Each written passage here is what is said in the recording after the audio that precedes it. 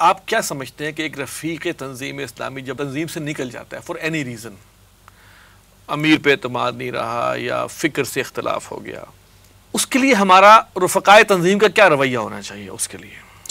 बहुत अहम सवाल है और गुजशत किसी एक नशस्त में इससे मिलता जुलता एक और नौीयत का सवाल भी हमारे सामने आया था। उस वक्त मुझे अल्फाज मुझे याद आ रहे हैं। मैंने अर्ज़ किया था कि अगर कोई तंजीम इस्लामी की फ़िक्र से या तरीक़ार से या अमीर तंजीम से इख्तलाफ कर गया या उस पर अतमाद नहीं है और तंजीम छोड़ कर चला गया तो पहली बात वो इस्लाम से खारिज नहीं हो गया। ये कोई अलजमा तो नहीं है ना? डॉक्टर साहब ने बड़े खोल खोल कर इस बात को बयान फरमाया।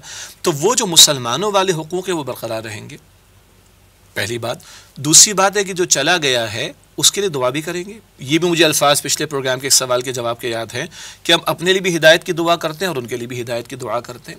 कोई इसमें हरज की बात नहीं है। हाँ ज़ाहिरी बात है कि जब कोई एक इलमी इख्तलाफ का मामला आएगा इसी तरह तरीक़ार का अख्तलाफ का मामला आएगा तो जो एक बॉन्डिंग का मामला उन लोगों के साथ है कि जो इत्तेफाक करके एक इज्तमाहीत के अंदर मौजूद हैं शायद उस लेवल की बॉन्डिंग का मामला वहाँ पे ना रह सके। लेकिन तो कहीं दूरी और नफरत का मामला तो सवाल ही पैदा नहीं होता ना। मतलब क्यों दूरी का मामला पैदा हो जाए वो मुसलमान तो है और ये ये एक जमाती तासुब हो जाता है।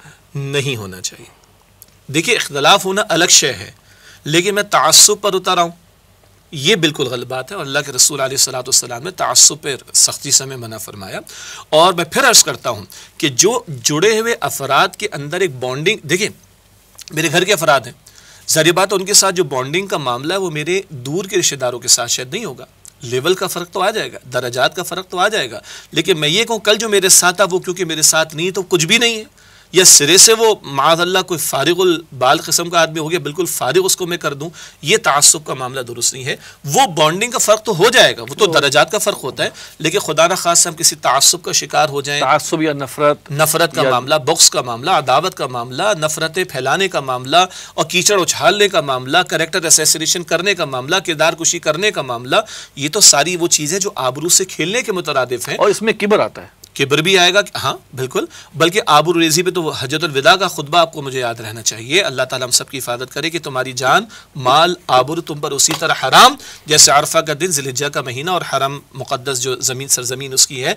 तो गोया ये सारे पहलू बुग्ज़ है, अदावत है नफ़रत है, किरदार कुशी है, लानतान है, गीबत है। ये सब तो आबरू रेजी के जेल में आता है। और मुसलमान की आबरू रेजी करना हराम अमल है। और फिर आपने कहा किबर की बात कि साहब मैं क्योंकि इलमी एतबार से स्ट्रांग हूँ मेरी फ़िक्र बड़ी मज़बूत है, दूसरा बिल्कुल फारिग है। ये गोया कि एक इल्म का तकबर है और बड़ा ख़तरनाक तकबर होता है। अल्लाह ताली हम सबकी हिफाजत फरमाए।